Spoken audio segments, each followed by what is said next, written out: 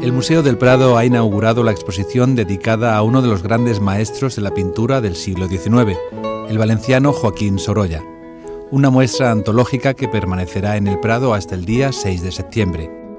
Por primera vez se presentará al público más de un centenar de obras con la firma de Sorolla, el pintor con más proyección internacional de su tiempo. Una de las grandes novedades de la antología es la exhibición de los 14 paneles de su Visión de España, pintados para la Hispanic Society de Nueva York, considerados epílogo y síntesis de su producción. Uno puede pensar que eh, ¿Por qué una exposición Sorolla más eh, dentro de las muchas exposiciones que se han hecho sobre Sorolla?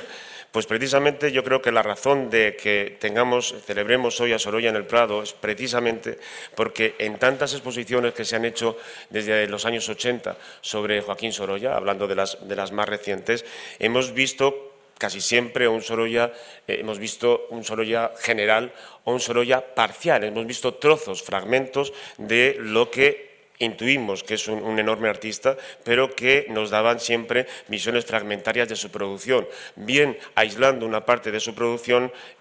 allá donde hubiera sido eh, eh, hecha, o bien en comparación con otros artistas o con otros movimientos. Pero uno cuando eh, veía exposiciones sobre Sorolla Solana, Sorolla Sargent, Sorolla Azor, Sorolla y Castilla, Sorolla Andalucía, se acababa preguntando, bueno, ¿y Sorolla? ¿Cómo es Sorolla? El público puede realizar un recorrido cronológico por la trayectoria del pintor español, rodearse de las obras de Sorolla, de la fuerza y color de sus pinceladas y de la expresividad de sus representaciones. Se exhiben todas las colecciones temáticas del artista, su pintura social de finales del siglo XIX, las famosas escenas de playa o un gran conjunto de retratos en el que se puede apreciar la influencia de Velázquez en el pintor valenciano.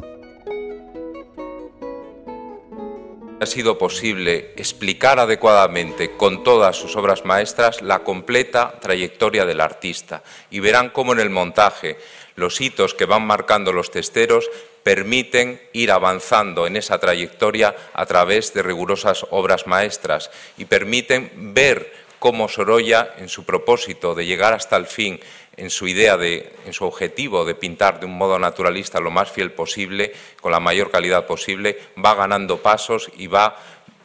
adquiriendo una madurez pictórica y una técnica extraordinarias que al final culminan, se ve esa culminación a partir sobre todo del gran cuadro de triste herencia de Bancaja. El Prado recoge así la primera gran exposición antológica sobre el pintor que se convirtió en icono de su tiempo, llevando su arte más allá de los límites europeos.